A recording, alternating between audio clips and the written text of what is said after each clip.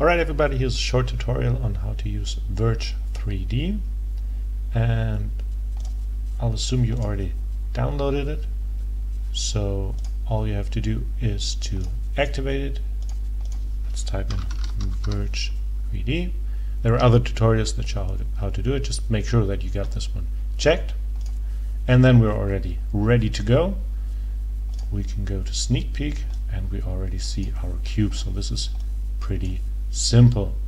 Um, the nice tool about Verge 3D is the App Manager. So here are all the apps that you already created or that are already there.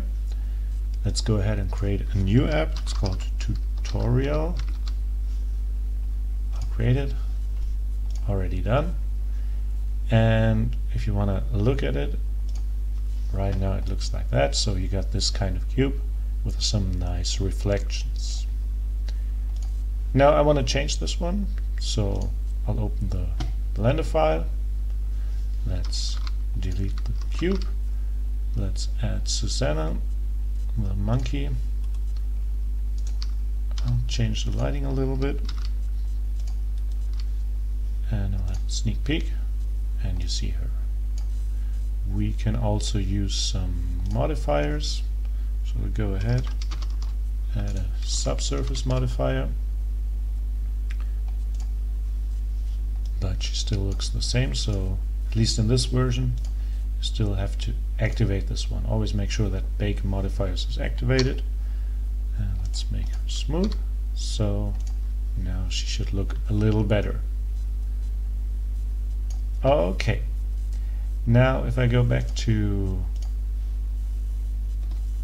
the app manager and I'll have a look at this tutorial here still see the cube. That's because I have to export the whole thing to this format and now it's also online. There she is. Okay, now to have some small animations, I'll activate the dope sheet let's put it here. And let's just go ahead and have a little bit of change in location. See that my screen keys are not displayed here. Let's make them a little bigger. Okay. Now I'll just move her a little bit to this position and if I go to sneak peek now this is what she's gonna do.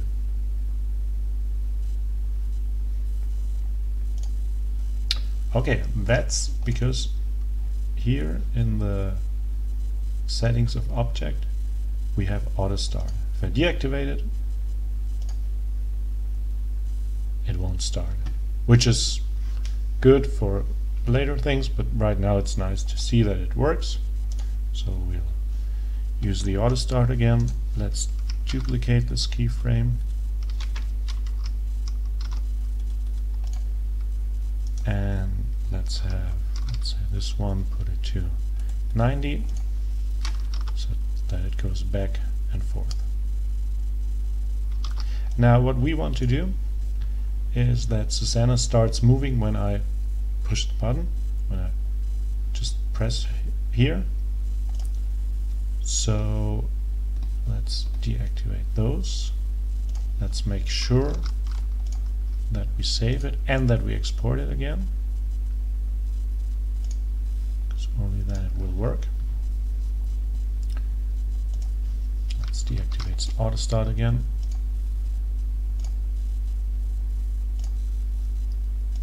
Okay. Now we're ready to go. Let's go into puzzles now we can actually do something when we press on this one. So let's take an object and let's say I want to have first of all we go to selectors and we'll take Susanna. And we need to do this event.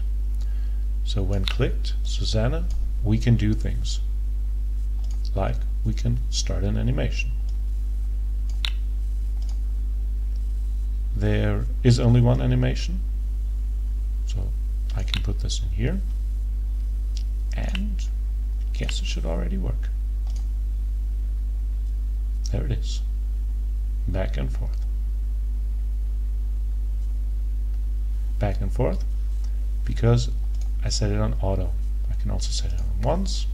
Let's save it just to make sure it's reloaded F5 in this case. Let's play. And she goes back and forth. And that's it. So it's fairly simple.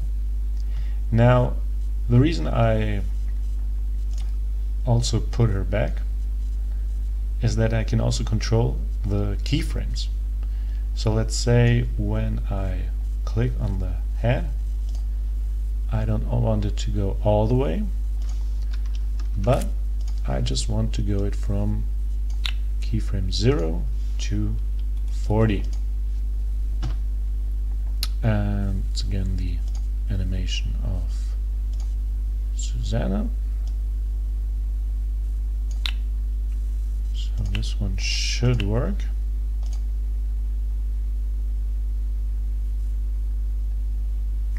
It doesn't work, so let's reload it. Let's play it.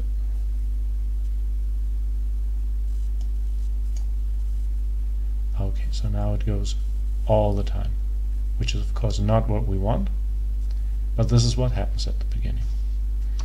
Let's reload it. The problem is here. The repeat mode or the loop mode is repeat.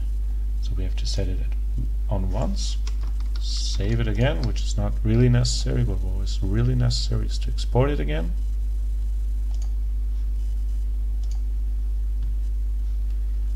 And just press F5, make sure that you got it saved. And we'll press on her. And it only will go once. Now it would be nice if it would go back, if I click again on Susanna. So I'll just copy that one put it here. And let's say okay this was from 50 to I think it was 70 let's check. 90 so from 50 to 90 now everybody probably already knows this. Of course will not work. Because it doesn't know which one of those two to use so it just uses the first one. So of course here we need to do a little bit of let's say logic Okay, so we need a conditional statement, which you can find under logic. So if, do, else. If something is happening, then do this, else do something else. And the other thing we definitely need is a variable. I already created one and I called it Susanna. So we need this one and we need a little more of logic. So let's say if Susanna is and let's just take two numbers. Let's say if she is zero let's put her to zero at the beginning. Set Susanna to zero. You can copy and paste this one.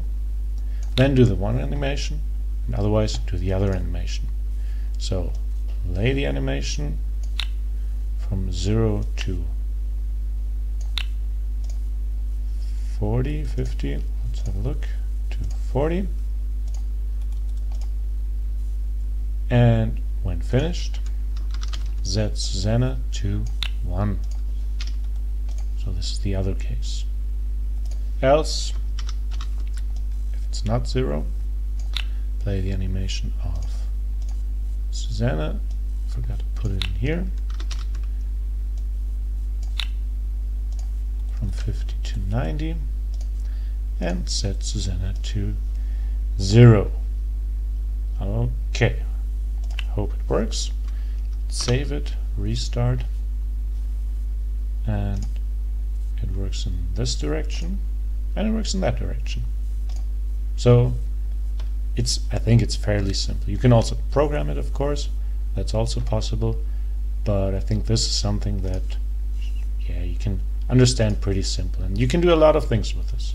All you have to do is just put in some uh, some animation. You can also rotate it and then do a little bit of programming. You got a lot of control over the thing. I used it in one of my little interactive simulations, which is about the Lorentz force, if you remember it from school. So it's always the question which direction the swing goes.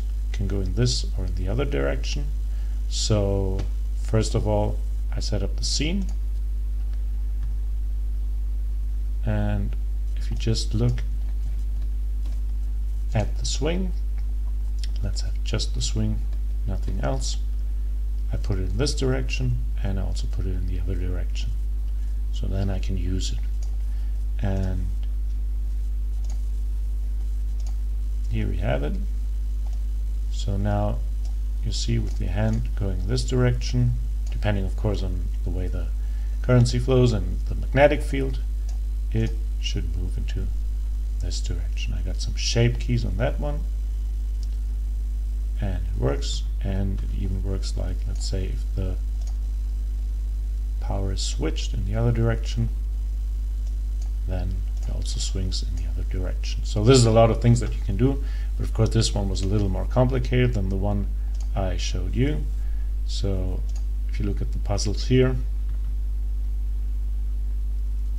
it's a lot of work but in the end when it works it's of course very nice but it's the same concept. It's nothing else than what I just showed to you. Okay have fun with it